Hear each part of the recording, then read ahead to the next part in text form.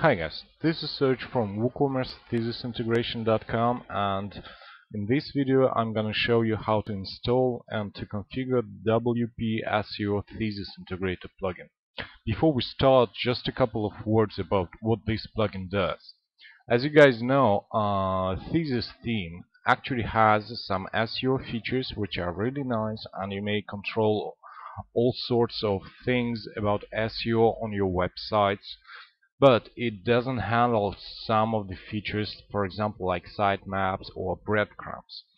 So, in order to have those features and uh, some more cool features you might need for your website, the perfect solution would be to go with a WP SEO by Yoast plugin, which is free and you may download it from uh, WordPress repository uh, which is a well-known plugin as well and you guys know that Yoast is actually the guy to talk about SEO.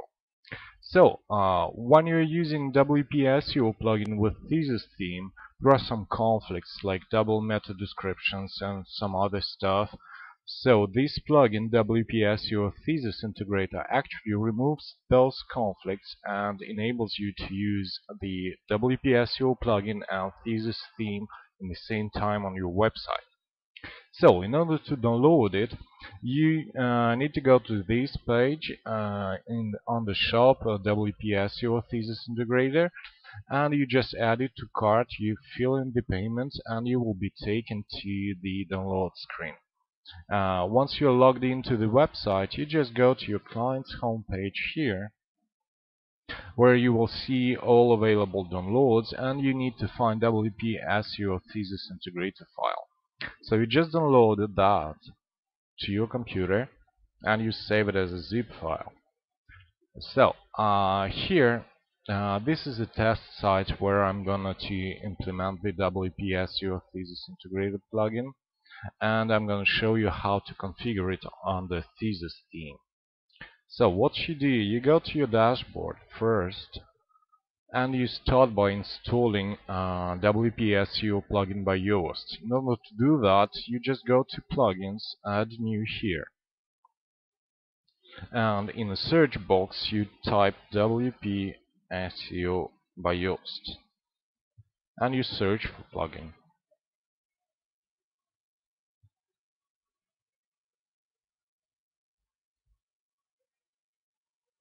So you will see that it will appear here under the list. Uh, you just make sure that this is the right plugin. It should be named the WordPress SEO by Yoast uh, by Joost de Valk. So you install the plugin, you confirm. The website will start downloading the plugin package. Once it is done, uh, you may activate the plugin right here on this screen.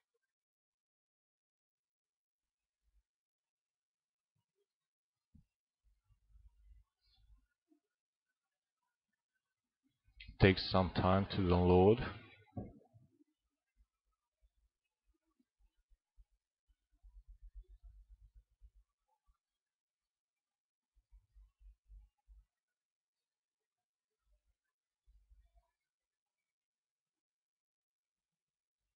You just need to wait up to the end on this screen before the plugin uh, can be activated. So here we go. Uh, we've got our plugin installed and you just click the activate plugin link here. So the plugin is active. Uh, when you first install this plugin, it will actually ask you if you allow tracking of some uh, activity of the plugin. Uh, I will not allow tracking for the moment. Uh, then, as you see, you've got this plugin enabled and you see the plugin options appearing here. So next step would be actually to install the uh, WP SEO Thesis Integrator plugin. So you just click Add New here, and instead of uh, searching in the plugin repository, you go to Upload. You choose the file from your computer. So it should be uh, WP SEO Thesis Integrator 1.4 uh, version zip file so you just open it and you install the plugin Once the plugin is installed, you just click the Activate plugin link here. So here you go, the plugin is active. Uh, next step uh, in the configuration of this plugin would be actually to add the title tag to your uh, thesis head editor. So you go to thesis and here on the site menu you will see HTML head link here. So just hit there and you will see that you have uh, two boxes in your head section which are actually style sheets and head scripts. So we need to add a new box which is called title. You just add that box here. Uh, you press your shift key and you drag this box into the active boxes area here. Once it is done, there is no options for this box. You just save the HTML head. So here we go. Uh, the plugin is configured. Uh, and now when you go to your mm, website you will see that the uh, meta title is actually working properly then um, I will leave you to explore the options of uh, WP SEO plugin and you have a lot of videos and uh, tutorials about how to use that plugin. Uh, also in this video I would like to cover how to add the Yoast breadcrumbs to your website because this is one of the features which is really searched by users. So uh, in order to do that you need to go on the SEO internal links and you enable uh, breadcrumbs here.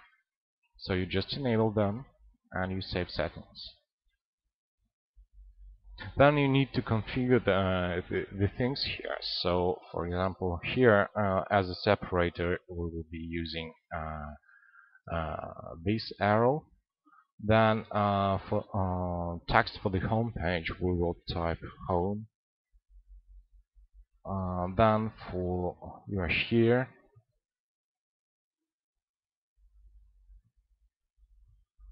for the archives whether you are using any prefix for the archives uh, or not. Uh, then for the search page breadcrumbs, mm.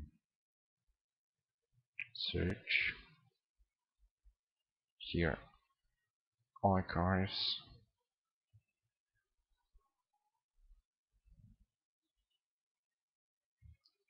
Nothing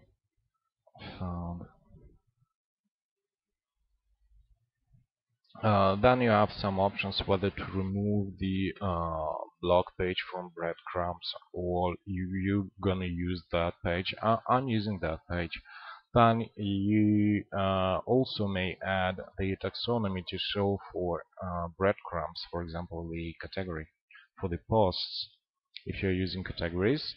And then uh, you have the option to bold the last page in breadcrumbs, actually the uh, page you are visiting right now.